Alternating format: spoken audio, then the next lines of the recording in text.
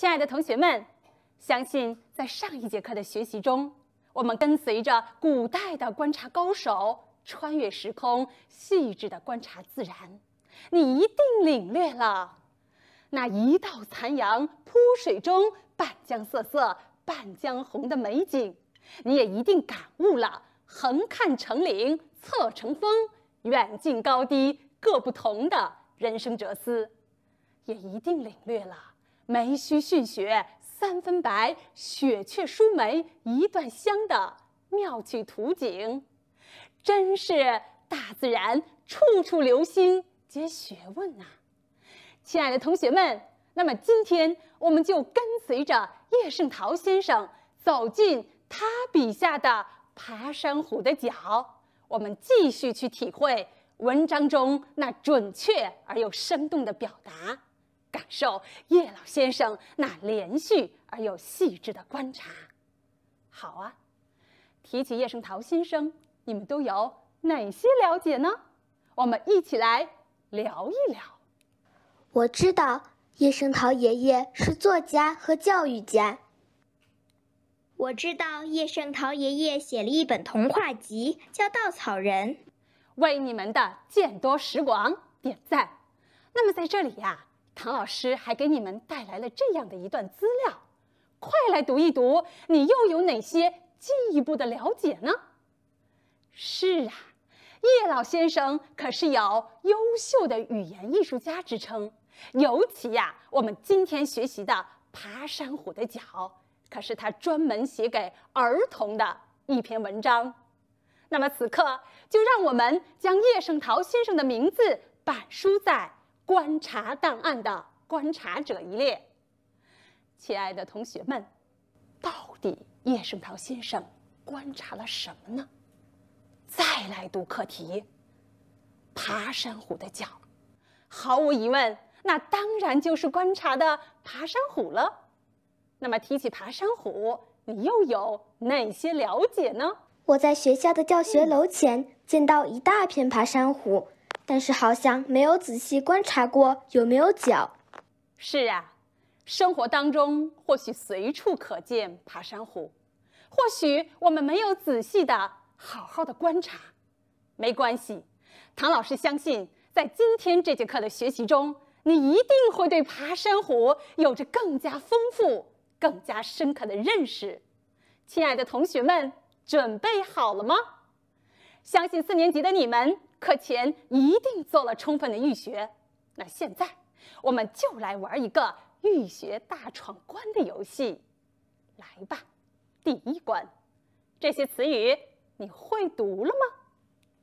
占有、嫩绿、舒服、均匀、空隙、一根茎、叶柄、枯萎、牢固、蜗牛。弯曲，一顺儿。为你的字正腔圆点赞。词语除了会读，我们还得了解它的意思哟。第二关，这个词语“一根筋”如何理解呢？对于中年段的学生，我们可以借助图片，从图片当中，我们去理解筋啊，它是植物的营养器官之一。是大多数植物可见的主干。那么，在这篇文章，对于爬山虎这类大型的落叶藤本植物，它指的是那些不能直立、靠着卷须或者是吸盘一样的器官攀附在其他的物体上生长的茎。亲爱的同学们，理解了吗？挑战的难度继续加大。词语会读，理解意思。我们还得会写呀，尤其是对那些字形结构复杂的汉字。快来看唐老师手中的卡片，“叠”这个字，上中下结构，上边的“又”一定要记住哟，它最后一笔的“那”要变为“点”，中间可是凸宝盖哟。尤其是“细”这个字，快来看，唐老师带来了他的甲骨文呐。从甲骨文来看，就像阳光透过缝隙所发出耀眼的光环。那它的右半部分你们看清楚了吗？两个小字中间的日要写的扁一些哟。那么上边的小字树钩变成了树。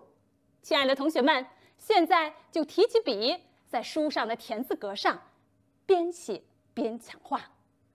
好啊，此刻我们把最热烈的掌声送给自己，带着满满的欲学，再来读课文，梳理文章的结构。快来看自学提示：默读课文，跟随高手叶圣陶爷爷，借助观察档案思考。每一段写的是什么呢？其实啊，也就是叶圣陶先生观察了什么。亲爱的同学们，试着填写在观察档案的观察对象这一列。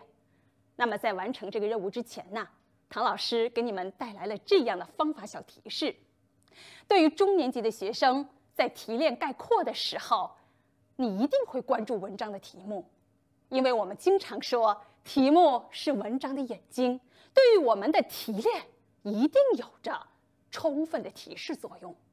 千万不要忘了那些关键语句中的重点的词语，也一定会帮助我们进行提炼哟。亲爱的同学们，准备好了吗？现在，就让我们一起走进文章中的第一自然段。唐老师来读，你来思考，写的是什么呢？学校操场北边墙上。满是爬山虎，我家也有爬山虎。从小院的西墙爬上去，在房顶上占了一大片地方。亲爱的同学们，相信聪明的你一定关注了学校操场北边墙上，我家小院西墙房顶上。毫无疑问，这些词语全部都是表示。地方的词语，于是啊，第一自然段写的就是爬山虎的生长位置。好啊，运用这样的方法继续迁移，来吧。第二自然段，我找到了段首句：爬山虎刚长出来的叶子是嫩红的，不几天叶子长大就变成嫩绿的。第二句话中，我抓住了重点词语“夜间”。第三句话那些叶子，第四句话中的一墙叶子这些重点词语，我发现这一段四句话都在说爬山虎的叶子，所以我认为观察对象是爬山虎叶子的样子。你多么会迁移呀！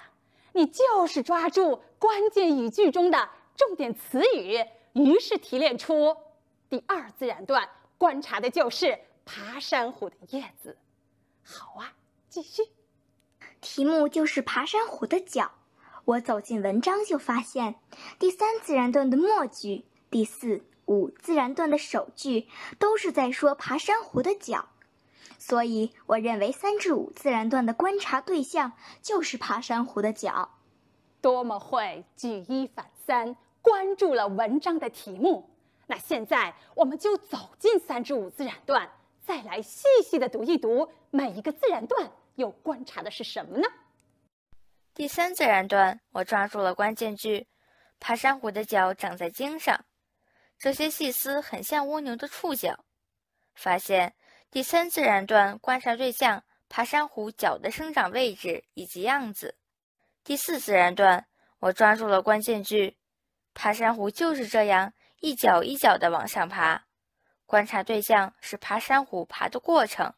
第五自然段，我抓住了关键短句：爬山虎的脚要是没触着墙，不几天就枯萎了。触着墙的细丝和小圆片逐渐变成灰色。我发现这一段观察对象是爬山虎脚的变化。好啊，亲爱的同学们，我们就是这样借助观察档案的提示，我们确定了。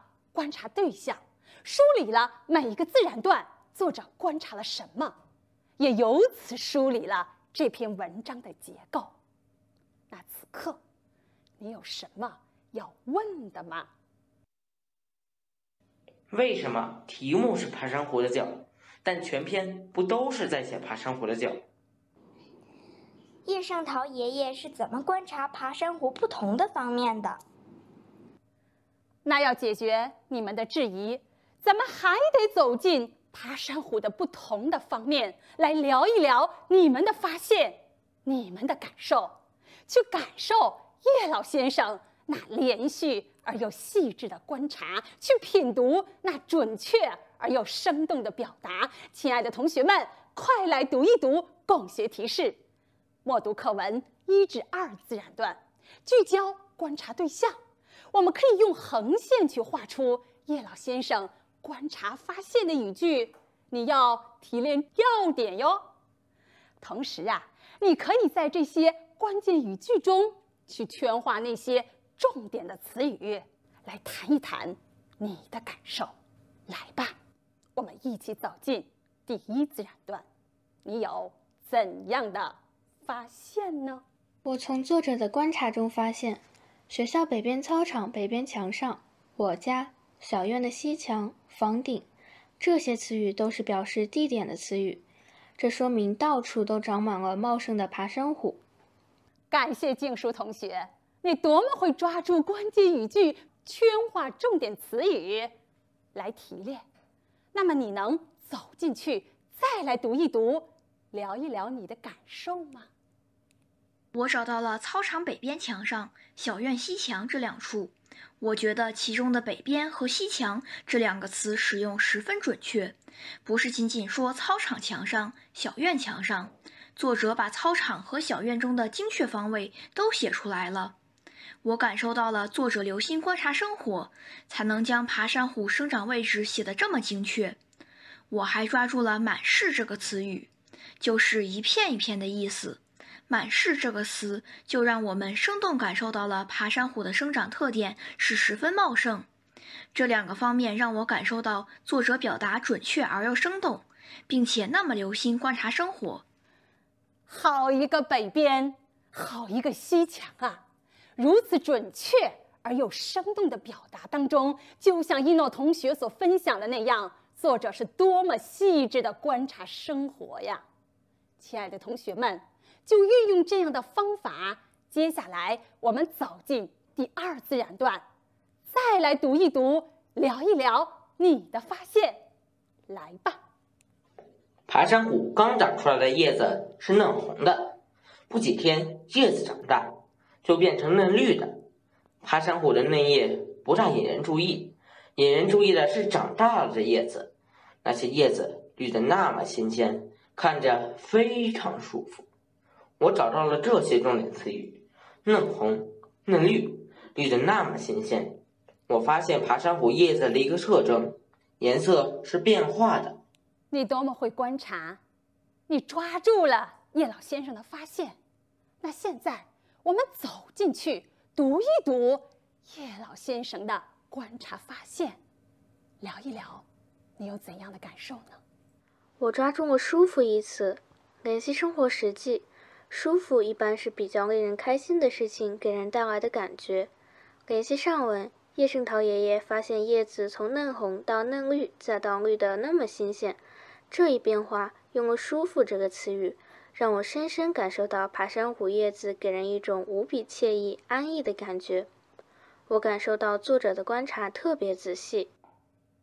好一个舒服，道出了我们心中所有的惬意。亲爱的同学们，再回过来，再来聊，你还有怎样的发现呢？我还抓住了这句话，请大家跟我一起读：叶尖儿一顺朝下，在墙上铺的那么均匀，没有重叠起来的，也不留一点空隙。我发现爬山虎叶子还有一个特征：叶尖朝下，叶子均匀铺在墙上。我还想谈谈我的感受。我抓住了“均匀”一词，“均匀”是指叶子在墙上分布平均、间距相等的铺在墙上的样子。联系下文，没有重叠起来的，也不留一点空隙，进一步说明爬山虎叶子均匀铺在墙上的样子。一瞬儿，眼睛全部朝一个方向向下垂。在这两个词语中，生动形象地感受了爬山虎叶子的样子。此时此刻，我们应该把最热烈的掌声送给香香同学呀！亲爱的同学们，不愧是中年段的同学，他不仅能够走进关键语句中的重点词语，带着我们体会这准确而又生动的表达，他甚至能够联系上文、联系下文，甚至能够链接最真实的生活体验，一次一次走进准确而又生动的表达当中，带着我们体会了叶老先生连续而又细致的观察呀。亲爱的同学们，唐老师和你们一样，也有一个小小的发现。快来读一读这句话：一阵风拂过，一墙的叶子就漾起波纹，好看的很。如果做了这样的改动，一阵风吹过，一墙的叶子就荡起来。再对比着读一读，你可以想象画面，表达效果上有怎样的不同呢？拂和漾。充满着灵动、温柔、轻柔之感，而改后吹和荡，无法体现出这种轻柔、这份优美。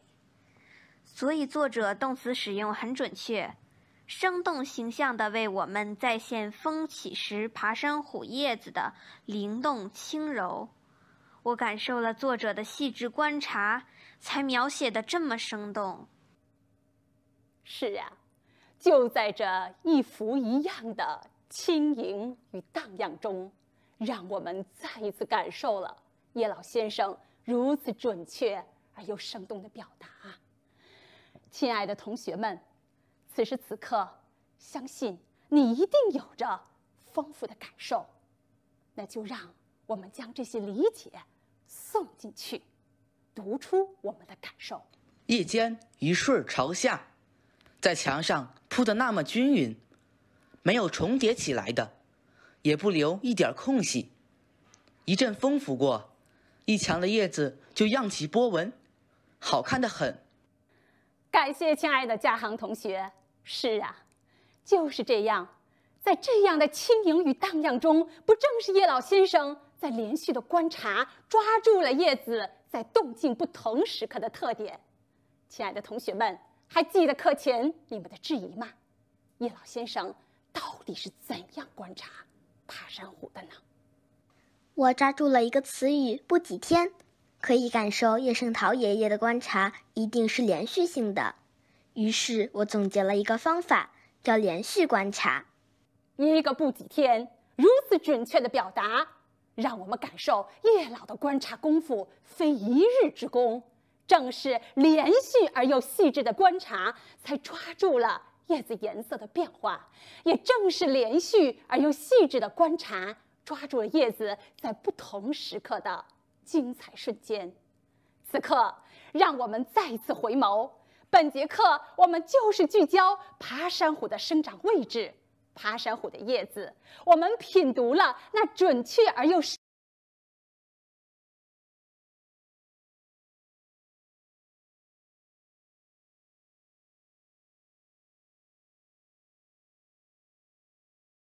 动的语句当中，去感受了叶子在风起时的荡漾与轻盈，也感受了在无风时的舒服。